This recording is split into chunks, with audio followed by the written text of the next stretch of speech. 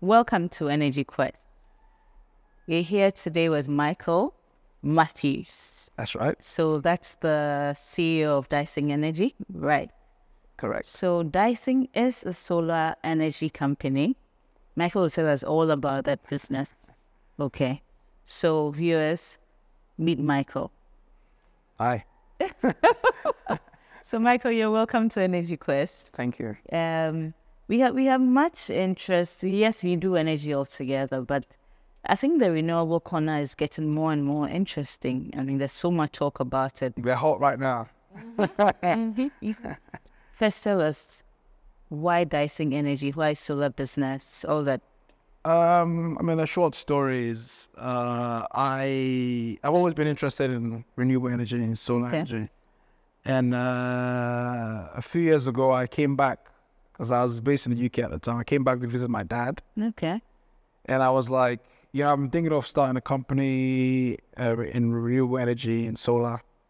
Um, you know, I'm surprised that nobody's doing it. I'm surprised that it's it's not something that is big in the system, considering we live in Ghana.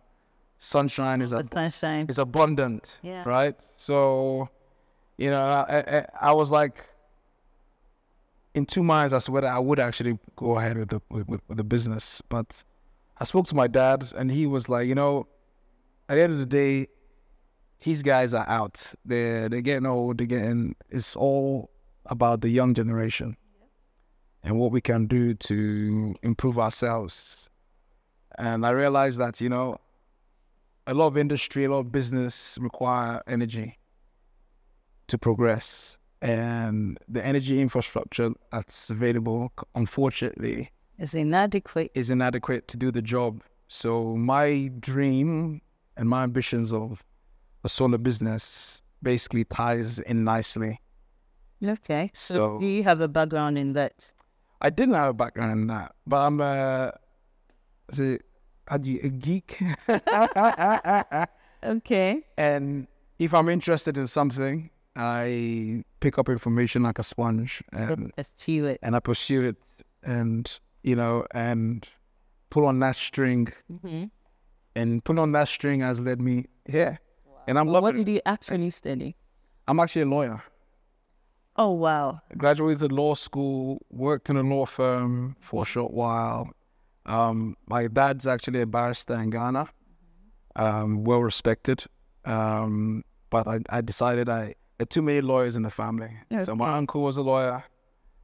So Oh. my, my brother studied law. Uh huh. So I figured my cousins are lawyers. I think I figured there's enough lawyers Enough, in the enough. family. Let's- so let's, And and energy is essential. you And know, energy is essential. energy. there you go. And it's a part of everybody's life. It's basic. So why not? Let's do energy.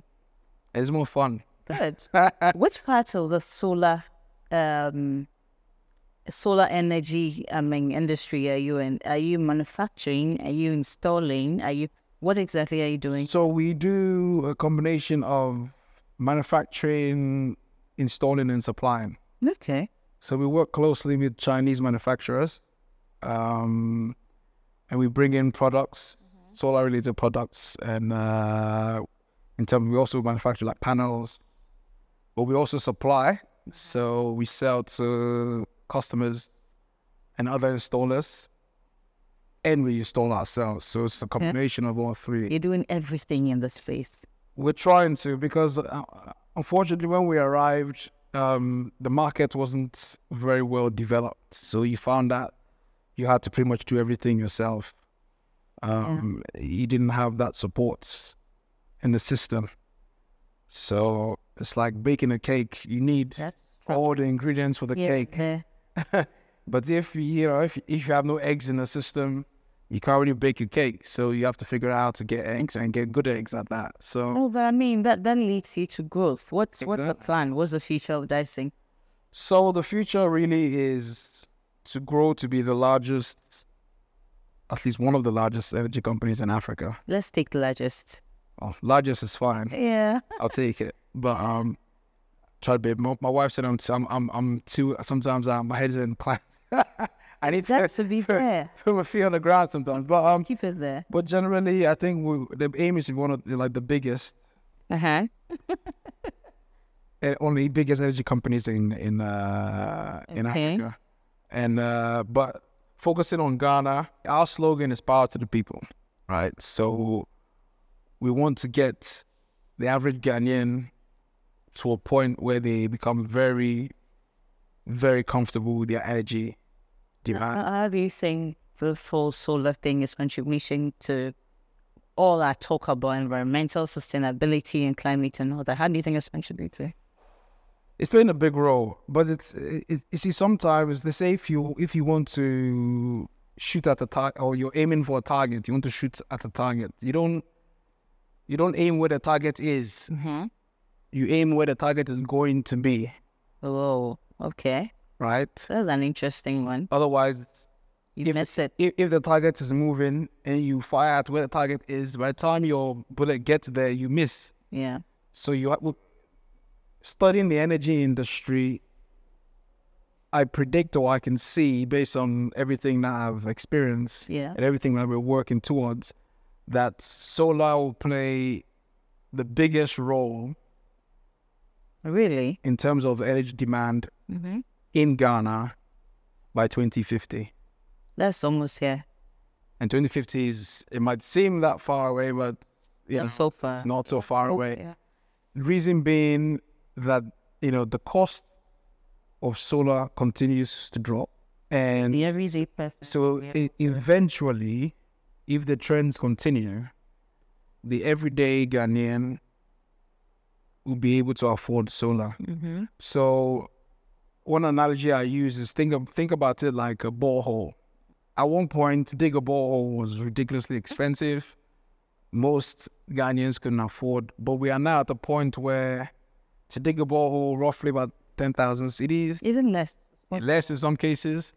So the average Ghanaian Should be able to afford. should be able to afford. So if you do some savings, or it's it's it's within getting there. it's it, it But gets in there. business with a futuristic view, Yeah, that means that so much work has to be done that will not necessarily be realized now. Yes. Definitely have challenges. 100 percent. Yeah. So what kind of challenges do you have looking at that whole one? The main challenge at the moment is there are several.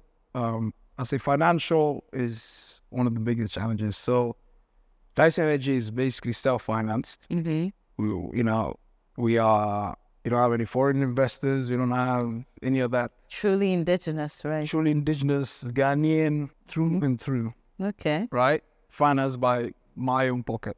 But in reality, a business like ours Yeah. should have investors backing us, should have finance available to us. We should be able to walk into a bank and sit down are you without being. So if you take out a loan at, you know, 40, 50, 60% that? APR, It's just- you know, you might as well just hand the keys of the business over to the bank Yeah. and go home because you can't pay that. It's, it's not realistic, Mhm. right? And I don't know where you get those kind of returns anyway, legally anyway. I- no, I'm happy you added legal. so, it, so we have to be realistic. Now, going back to your point, is the investments will be made will be realized much later on. Mhm. right? So we have to make those investments. Now, in order to help us, we then need as the policy side of things. Yeah. The unfortunately, I know. I mean, I'm close to all the guys at the Energy Commission. They do their best. You, you know, they make policies, but sometimes it's not just about the policy; it's about the policing or the Practicality. implementation, the practicality of it. Now, unfortunately, on that side, we are we are lacking Mm-hmm. To to to be I, I, I like how you're putting it nice and you know. a bit more generous. We can do better in that regard. Now, I'll give you I'll give you just a quick example. A container of solar panels, roughly give or take, sometimes the prices go down about seventy thousand dollars. Now, to bring that container of panels into the country, it, you have to pay another seventy thousand dollars Mhm. in duty. That's almost hundred percent. Really? Yes, really. You need to buy the product again. So you need to buy it. But now, imagine now, and that product is now in, and I have to sell that product to the to the to Ghanaian, to businessman, to, Then your markup. and then you have to put a markup on that, Mm-hmm. and then you see the so the cost. I, but if you on the flip side, in Europe, in America, in China, South America, all across the world, Yeah. are incentives supporting Anything green, right? green energy infrastructure. I, I don't get how th- that those two go together because, I mean, if everybody's trying to support the world going green, and then we're still charging lots of taxes, and I mean, we're drawing back the industry Yeah. wells we work hard. So, like I said, it's the practicality of it. You know, it's all it's theory is all well and good, but on the ground, how does it work? So how do we solve all these? What Um? What you- suggestions you have? uh, they can bring me in and pay me some consultancy And then you to, to, to give them some advice on how to approach the problem. But then again, you also have to remember that not everything is black and white, right? It's possible that people within the industry like it like that. really It's possible. You know, you have people who are benefiting off the old system.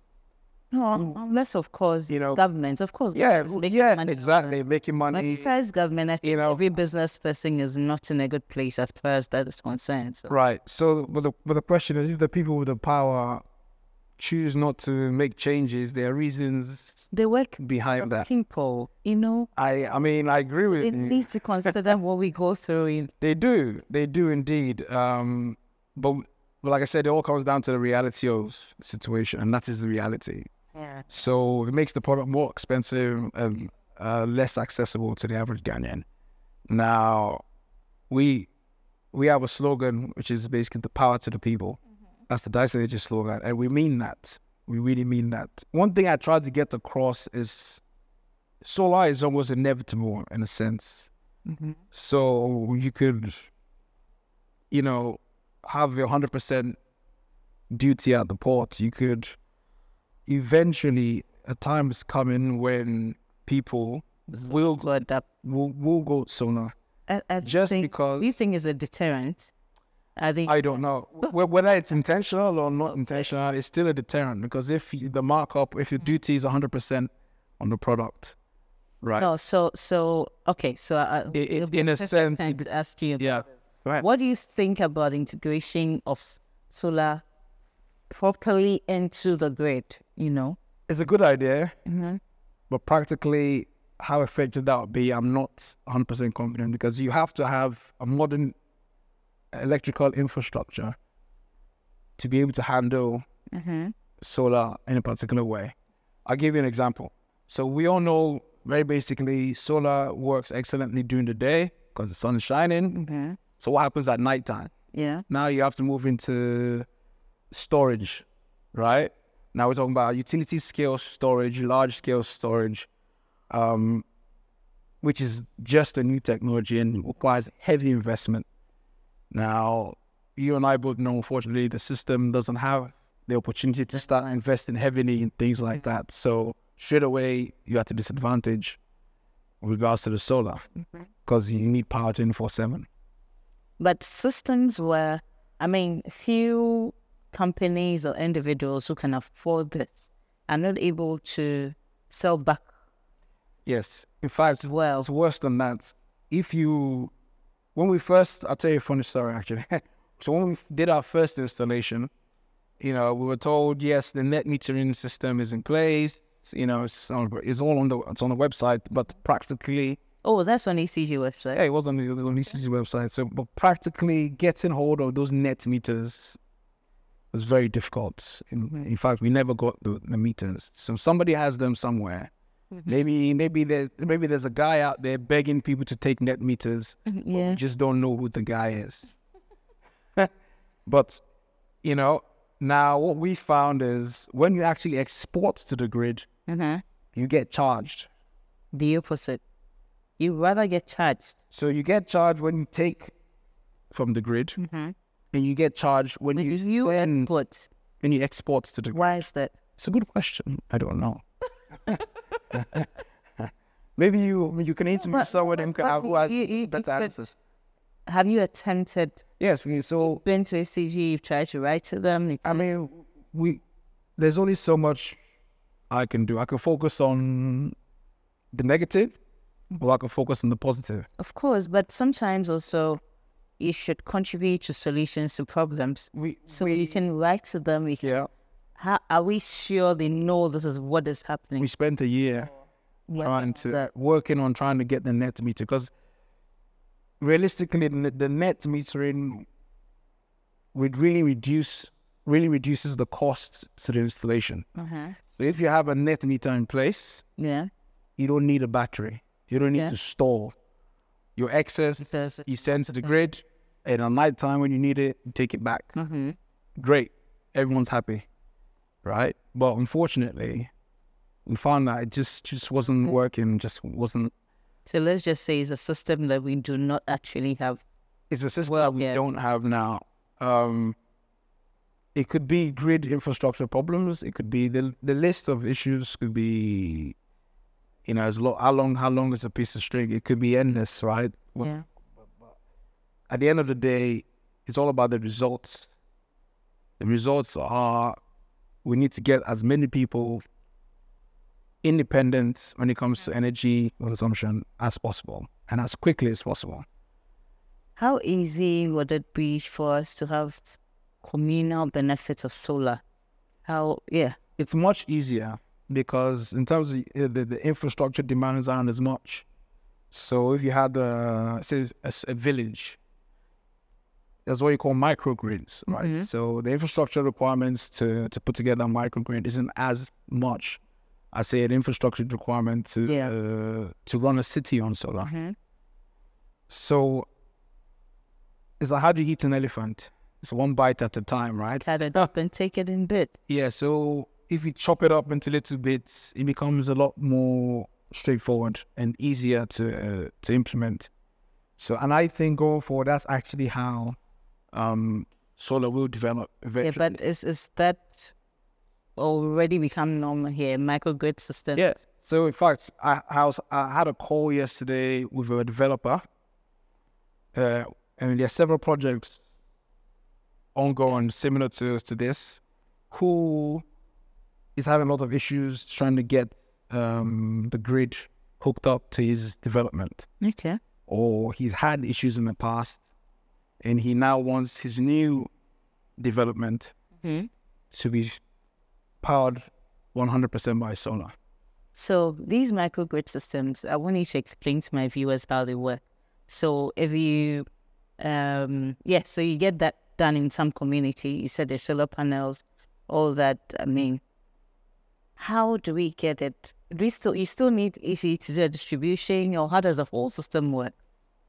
Well, generally you have to have what you they we got distribution license. So, for instance, you have independent power producers. Or do they give those distribution licenses? Yes. So the the Energy Commission could could issue licenses to um, companies who, for instance, want to build a large solar farm and then contribute to the energy grid. Mm-hmm. That's one aspect of it. Yeah. And the other aspect is individual consumption. So you and I, for instance, can put solar on our houses. We don't need a, a- because we're not contributing to the grid in any way.